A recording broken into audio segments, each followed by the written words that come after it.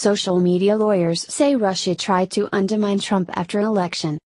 There has been a seemingly endless stream from the left about how Russia interfered in the 2016 election, and that the alleged meddling is the only reason Donald Trump defeated Hillary Clinton. A new wrinkle was added to the Russia hacking narrative on Tuesday when Facebook General Counsel Colin Stretch told the Senate Judiciary panel that Russia's efforts to meddle in American affairs continued after the election, Politico reported. In fact, after Trump's victory, Russian trolls tried to spread political discord by questioning the legitimacy of the election and trying to get people to react violently to Trump's win. During the election, they were trying to create discord between Americans, most of it directed against Clinton. After the election, you saw Russian tied groups and organizations trying to undermine President Trump's legitimacy. Is that what you saw on Facebook?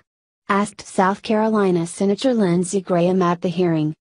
Both Stretch and Twitter General Counsel Sean Edgett called that statement accurate. Trending, breaking, ESPN sets stage to cut NFL, nixes NFL language from contracts.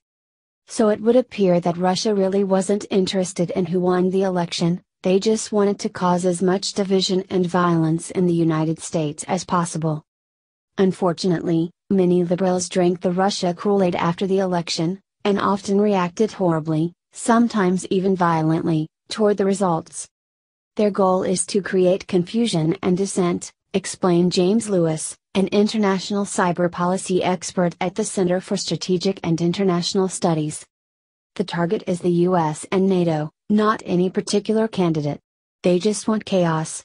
It went from being a grudge match against Clinton to what they thought was a priceless opportunity to inflict harm, he added. The New York Times noted that during the testimony, both Democrats and Republicans expressed their anger at social media companies for not stopping, or at least disclosing, the Russian campaign earlier. While Russia may not have wanted Clinton to win, it is becoming increasingly clear that they ultimately just wanted to cause chaos. A divided America, thus a weaker America, is exactly what, what Russia wants. Sadly, that's exactly what they got. Democrats and Republicans have been so fixated on this Russia baloney for 11 months, casting doubting on the legitimacy of the election and causing untold division. Related, Manafort just received more bad news, Trump lawyer says no pardon. The Washington Post noted that all social media companies promised to do better to stop this sort of meddling in the future, but also cautioned that they couldn't stop every false ad from being bought and distributed, nor could they stop false tweets, posts from being sent.